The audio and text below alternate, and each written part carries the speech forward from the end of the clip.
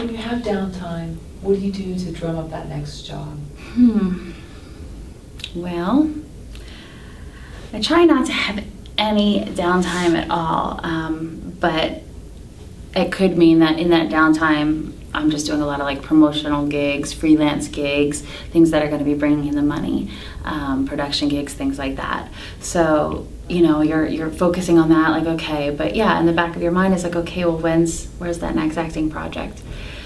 So I think it's usually about, for me anyway, right now, without having the representation and having an agent that you're constantly going on auditions because I don't audition much. Like, I've had a handful of auditions this year, and auditions is a numbers game, you know, so the more you audition, the more likely you are to book something, and if you're not auditioning a whole lot, you're not, you know.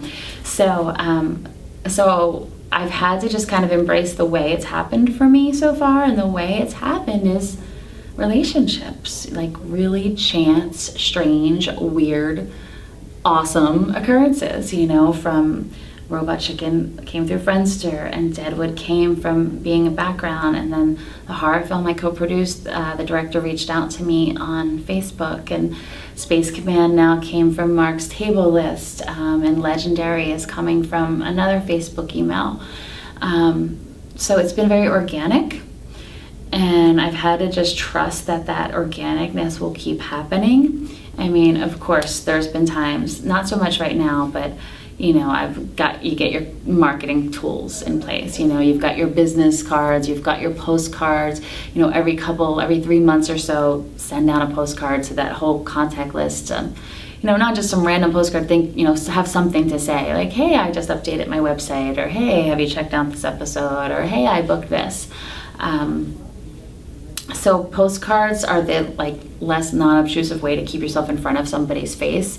Because hey it's sitting on their desk and you know who knows? Maybe it just happened across their desk at the same time that a casting was happening. Um, for instance uh, the group of actor friends that i talked about in the class rules group we had started a commercial drops so basically, during our downtime, we had team leads and we had people, and we had a list and we had organized, and we had a list of all the commercial casting directors in this town.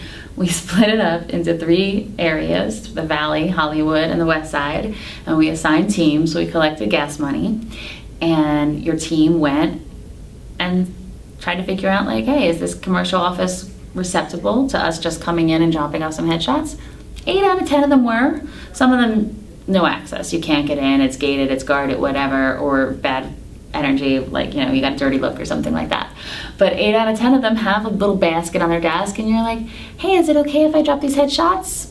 But be walking out the door as you say it, so they know that you're not trying to stay and have a conversation with them. And eight out of ten of them are like, yeah, sure. And so the one awesome story from that is um, we had class later that night and we always shared good news was the first thing we did in class was share good news and so one of our friends one of the guys in class said i got a call right before i came for for an audition at such and such's office and i i don't think i've ever submitted to them and me and my partner looked at each other and we went we dropped your headshot off there earlier today.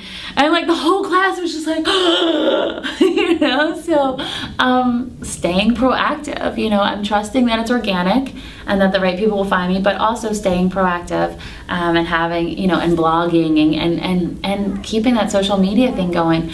What I've been doing, um, like with Twitter, for instance, is I'll go through or I'll find people or I'll see somebody retweet, like just for instance, um, there was a, a, gentleman I just saw somebody retweet, and he, you know, he's a director over at FearNet um, and a few other horror magazines, and you know, and I love the horror genre, so I followed him. Well, then I saw him talking, and then here apparently he's from Philly. So I was like, "Hey, I'm from Philly too," and he responded. He's like, "How you doing?" You know, and like, and then he followed me. You know, and so it's it's constantly reaching out to people who you feel aligned with in some way, and then organically and authentically clicking like on their things and communicating and talking to them and reaching out to them when you have a project that you think would line up with something that they're doing. Um, because then, you know, the next thing you know, they've got, you know, three projects away. They're like, oh, wait, yeah, Leah, let's, you know. And so it's it's a really all about relationships. Like it really truly is. And having you know having your tools ready and updating your stuff. And you know i recently updated my hosting demo. You know a lot of the stuff on there was was older. And i had all the new stuff from the red carpets with D and people like that that i wanted to add because it had primarily been a rock and roll demo. It was all rock and roll musicians, which was fine by me.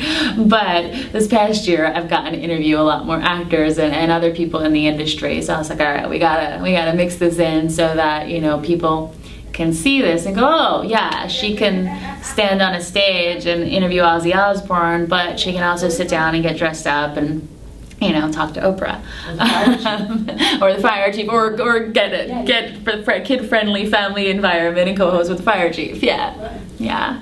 So I think I think that's the answer in a nutshell is just continuing to build the relationships and continuing to work on on yourself. You know, whatever that may be. You know, whether it's you know, um, through health and fitness and, and yoga classes, or whether it's taking up a hobby and like getting, like you said, getting your mind away from the industry for a little bit. Go take a painting class or a pottery class or something cool like that.